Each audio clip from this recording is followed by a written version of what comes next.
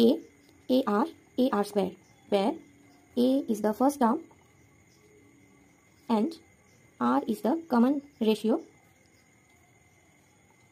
of the GP. Now what is the condition? The condition given that the sum of first three terms is 70. Therefore, A plus AR plus AR square equals to 70 given. And if the extreme terms are multiplied by 4 and the middle term is multiplied by 5, then the resulting terms form an AP. So, uh, according to the question, we can write 4A, 4A, 5AR and 4AR square forms an AP. Therefore, 5AR minus 4A is equals to 4AR square minus 5AR. Now, if we take the common, then we can write 5R minus 4 times A equals to 4R square minus 5R times A. We can cancel out it and we can write 5R minus 4 equals to 4R square minus 5R.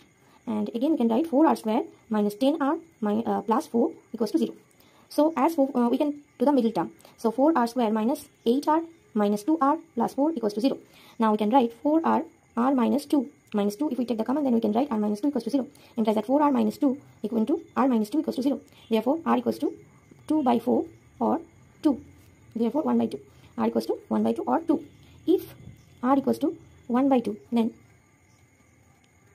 from 1 a plus a by 2 plus a by 4 equals to 70 it gives 4 then 4a plus 2a plus a equals to 70 that means 7a by 4 equals to 70. That means a equals to 40. If r equals to 2, then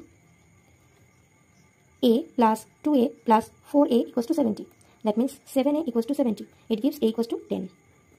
So if a equals to 10, then we need to find that uh, the resulting terms form an AP, then the sum of sum to infinite terms of GP is. So the GP, uh, now let us write the GP.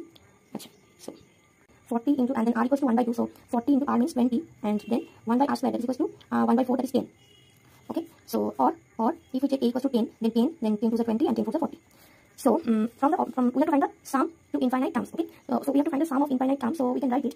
Is infinity equals to when we are taking 40 as the first term then it will be and, and r was a equals to 40, r equals to 1 by 2. So as r is 1 by 2 less than 1, so we can write 1 minus 1 by 2. We can use the formula. And that is 40 into 2 by 2 minus 1, that is equals to 80. Okay, this is one of the answer. And other, when, or we can write is infinity equals to, um, when a is 10, then it is 10 into 2 minus 1.